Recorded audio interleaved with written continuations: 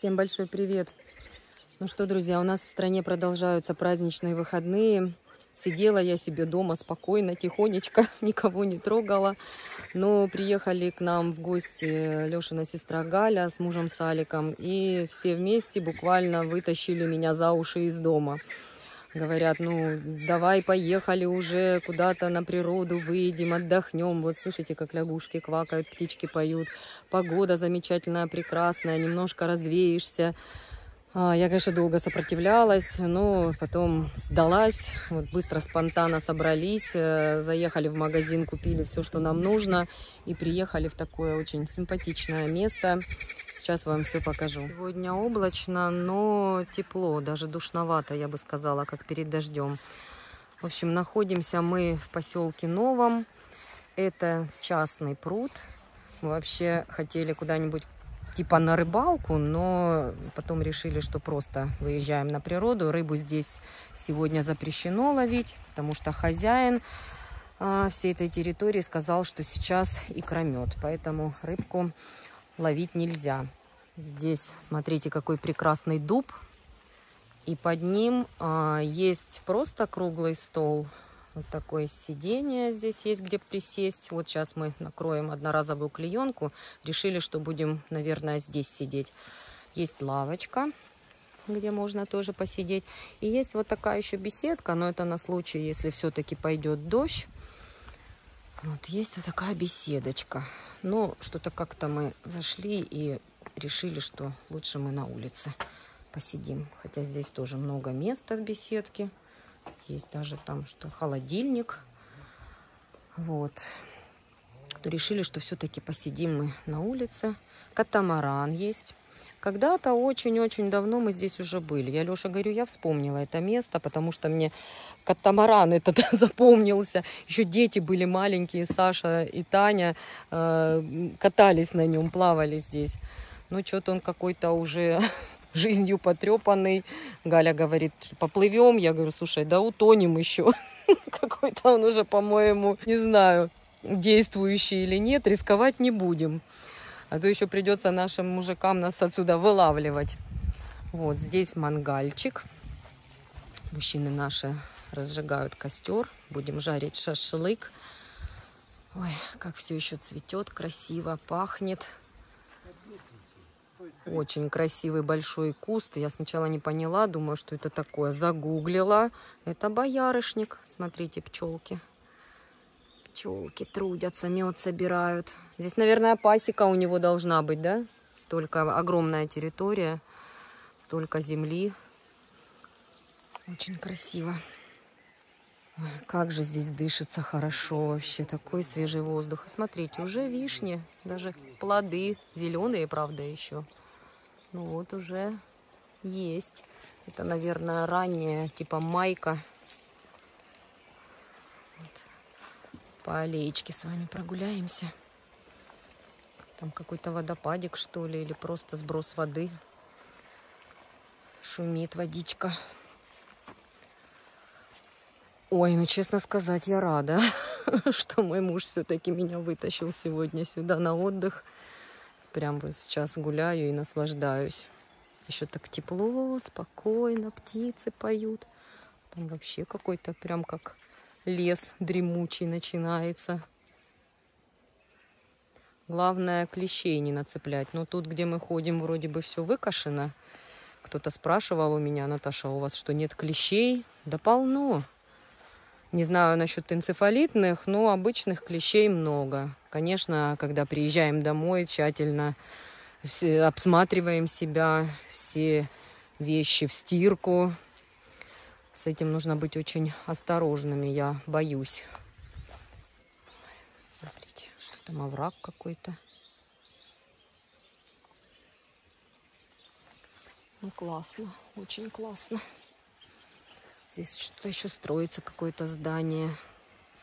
Ну, наверное, в будущем хозяин хочет что-то как-то окультурить все. Это грецкий орех. Там тоже вишни. Уже даже пытаются, как будто бы розовеют. Пытаются поспеть. А, ну да, там просто не пойдем туда. Там я так поняла, большая труба, и он просто, видимо, через нее наполняет пруд. Так. Ой, как же здесь хорошо. Все-таки природа лечит. Потихонечку накрываем на стол. Ой, какую рыбочку вкусненькую купили. Ой, слюнчи текут. Красота какая.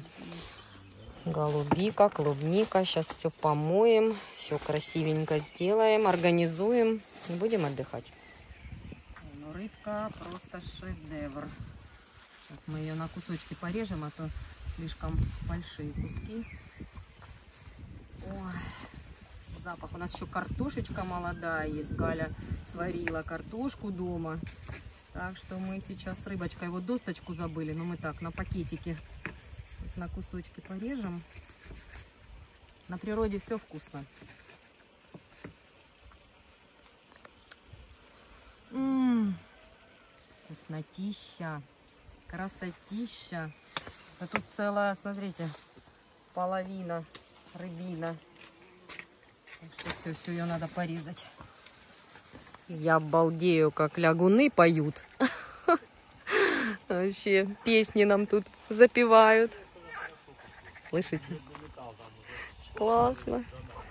Водичка, не сказать, что сильно грязная, но и не чистенькая. Ну, я потрогала, довольно-таки, кстати, теплая. Вот. Была бы чистая, может быть, даже искупались бы мужики наши. Не знаю. Я, конечно, в такой не, не буду купаться, но Леша мой, он везде, где водоем, видит, везде готов занырнуть. Ой, у нас уже костерчик горит. Любите треск костра и смотреть на огонь? Я люблю.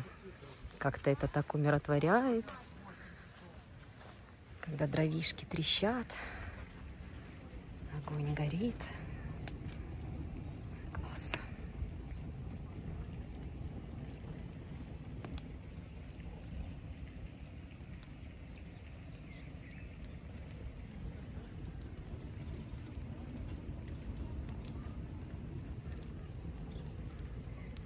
Здесь еще вот такое есть сооружение.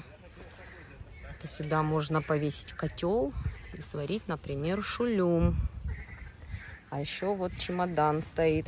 Кстати, кто-то спрашивал, а, мы иногда готовим рыбу в чемодане. А мне кто-то писал, типа, что значит в чемодане, как это? Это получается вот такой железный чемодан, мы его называем, железный короб такой, ящик. И туда, значит, на дно засыпаются опилки, на решетку кладется целая большая рыбина, ну, ее предварительно нужно замариновать, она желательно должна быть в чешуе, а, убираются только жабры, и внутренности. Вымывается все, солится со всех сторон, начиняется, фаршируется рыба зеленью, можно лук кольцами, в общем, перчик, специи, и кладется на решетку. И получается на костре этот чемодан стоит, э, ну, в зависимости, насколько крупная рыба, ну, вообще минут 40. И рыбка получается очень вкусная. Она как типа горячего копчения ну, обалденная просто. Мы это блюдо любим, часто, в принципе, тоже готовим у нас здесь на Кубани. Вот. А Саша говорит, мама, а у нас тут в Питере кому не рассказываем, все смеются. Говорят, какая рыба в чемодане, что за рыба в чемодане. То есть, говорит, люди здесь даже о таком блюде и не слышали. Ну, вот так. А, лягушка занырнула. А, еще одна. Прячутся. Боятся меня, скажут, что тут за тетка ходит с камерой. Смотрите, вода какая грязная. Вот здесь прям видно хорошо. Скажут, ходит тут тетка с камерой, снимает. Ну вот так, что блогер на природу выехала отдыхать. Да, мы с картошечкой молодой пока рыбку. В общем, у нас пока это разогрев. Заглянула солнышко, прям даже жарковато стало.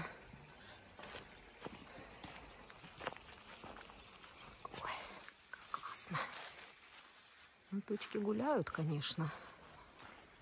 Но ничего. Все равно очень классно. Вот юка скоро зацветет. У меня тоже в этом году дома, там в одном месте юка растет и уже выпустила вот такой цветок. Потом поснимаю, вам покажу.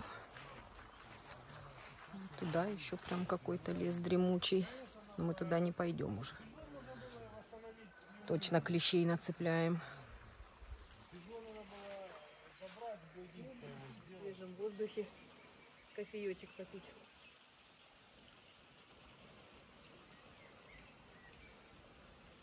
Как же хорошо, какой день. Чудесный. Нет, три ты мало. Ну, ну, году. Друзья, вы знаете, что я живу в большом доме и все хозяйственные дела веду сама. Ну а так как еще и много работаю, то времени на уборку катастрофически не хватает. И сегодня сбылась одна из моих мечт. Мне на обзор прислали робот-пылесос Midea M7. Убираем транспортировочную коробку. Упакован, я хочу сказать, очень качественно. Только посмотрите, какая красивая коробка. Не сомневаюсь, что сам пылесос тоже классный. Итак, посмотрим, что же имеется внутри. Гарантийный талон, руководство по эксплуатации на русском языке, что очень приятно. И пошаговая инструкция по установке приложения на телефон. Имеется вот такой HEPA-фильтр. Я так понимаю, что он запасной, потому что один уже стоит в самом пылесосе. Две боковые щеточки и площадка с микрофиброй для влажной уборки. Здесь она так на липучечках. Кабель питания для базы. Ну и, собственно, сама база вот такая симпатичная. И виновник торжества сам его величество робот-пылесос. Только посмотрите, какой он красавчик. Мне прислали в белом цвете, но я знаю, что он бывает еще и в черном, поэтому по желанию вы можете выбрать тот цвет, который нравится вам. На поверхности пылесоса имеется лидар и две кнопки. Первая включение-выключение и вторая возврат на базу для подзарядки. Открываем крышку, под которой прячется бак для мусора. Вот так он выглядит.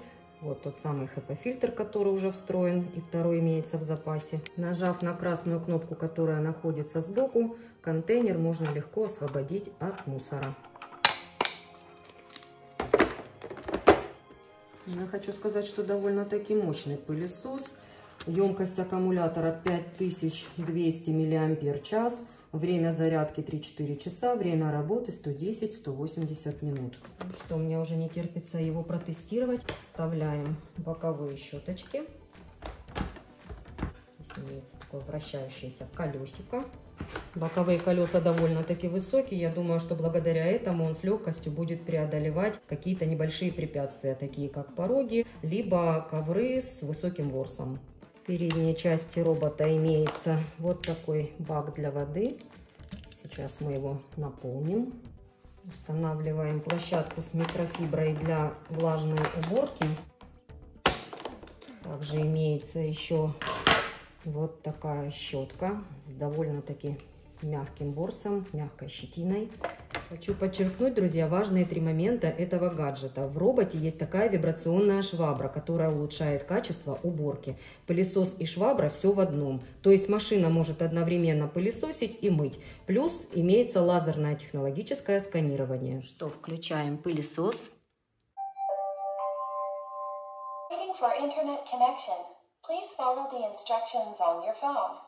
Угу на английском. Нужно срочно тебя перевести на русский язык. И сразу же отправляем его на подзарядку. Надеюсь, ты умный мальчик. Найдешь, куда припарковаться. Отлично. Я и не сомневалась, что ты умный. Ну а пока он подзаряжается, я с помощью QR-кода, который находится в руководстве по эксплуатации, установлю приложение на телефон Smart Home. Приложение в использовании удобное и понятное.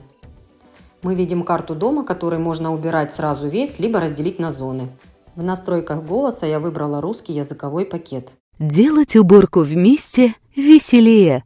В приложении можно делать плановую уборку, вести записи об уборке, режим «Не беспокоить», например, с 10 вечера до 8 утра пылесос не будет издавать никаких звуков и так далее.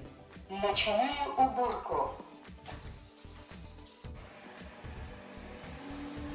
Итак, основные ключевые особенности робота-пылесоса Midea M7.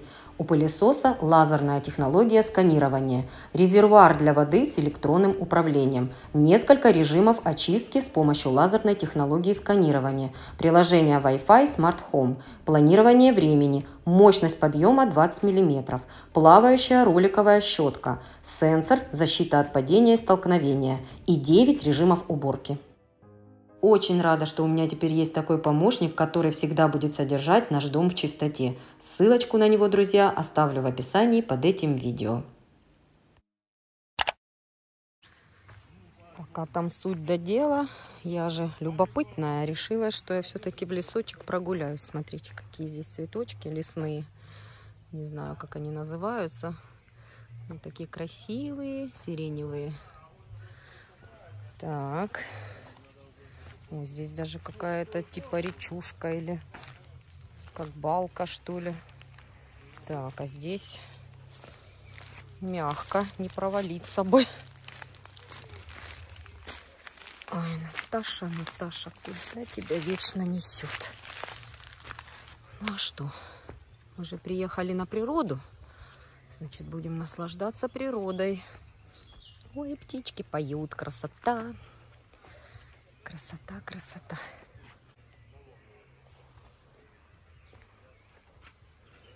Главное не наступить ни на какую змеюку. Да, мои красоточки, да как же вы поете красиво. Не наступить ни на какую змеюку. И выйти отсюда без клещей.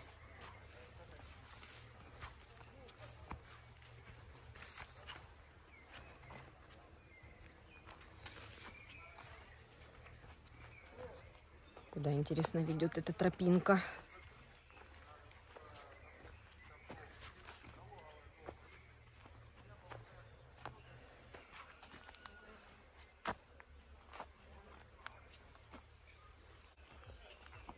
Запах такой интересный здесь стоит.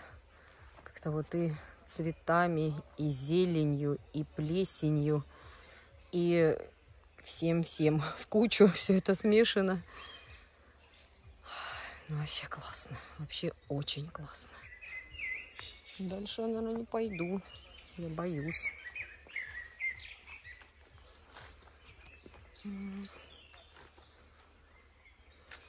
Птички распелись. И комары летают.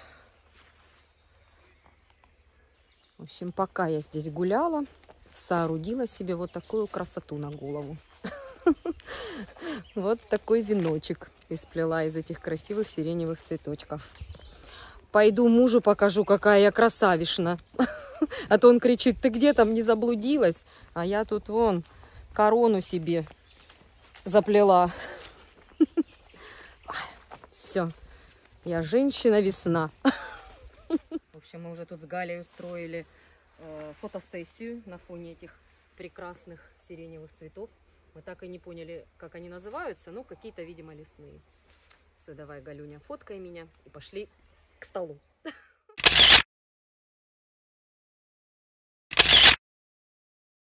Что, стол мы накрыли. Сейчас, в принципе, нам осталось только мяско с костра дождаться.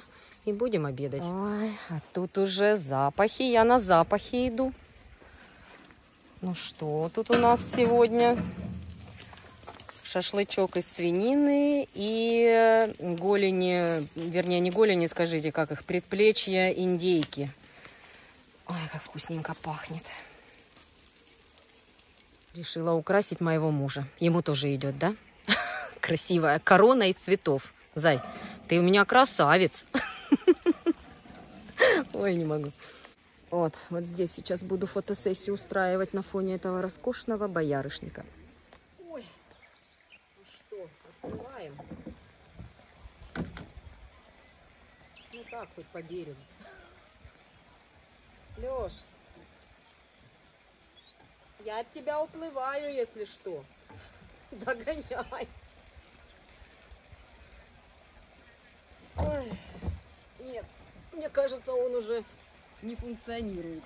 Оба-на. Это что тут за гость к нам прибежал? Да в ошейнике. Это, наверное, хозяйский. А? Собачулька.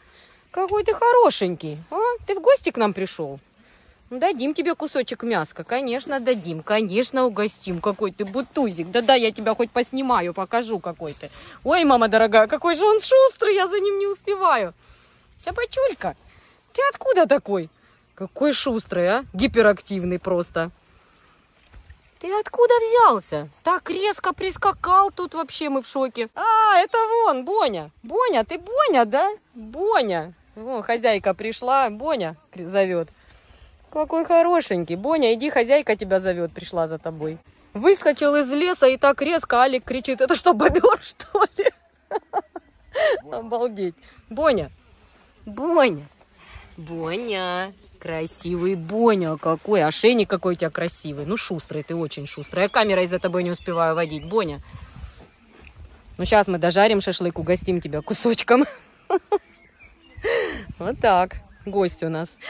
Так, так, так, у нас уже подоспел первый шашлычок, а я думаю, что так вкусно пахнет.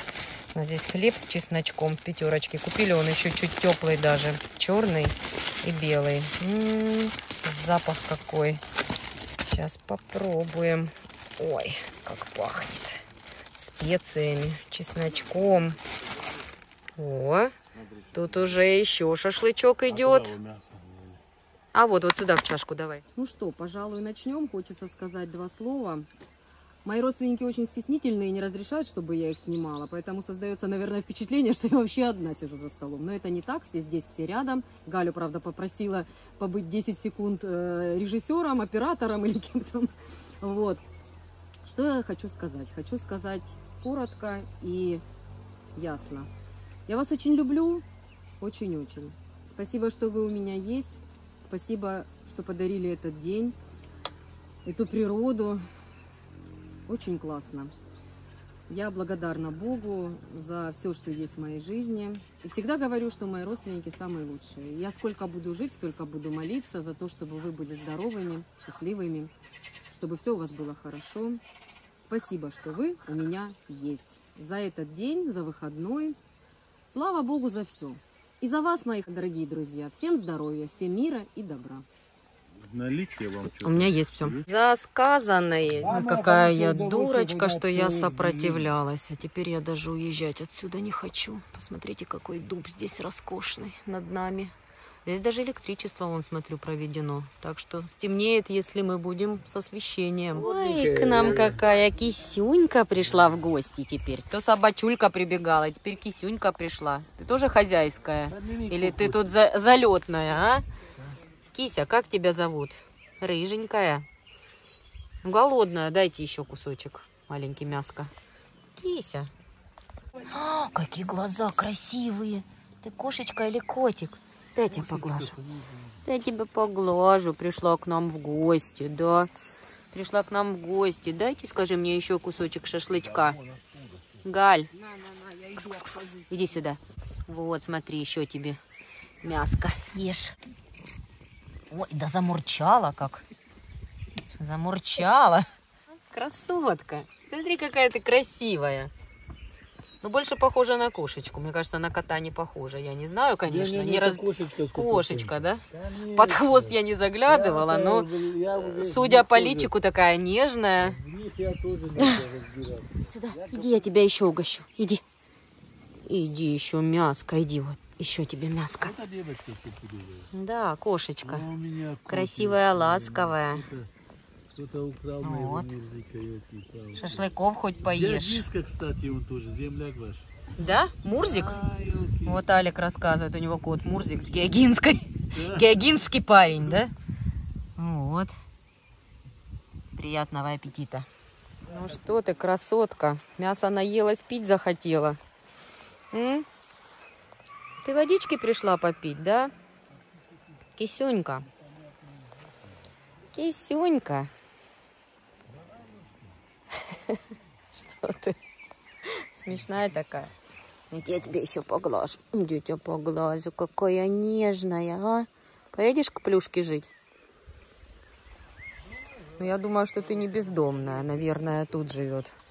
Тут и Боня собачка прибегала, и Кисюнька тут ходит. Ай, наверное, они тут хозяева.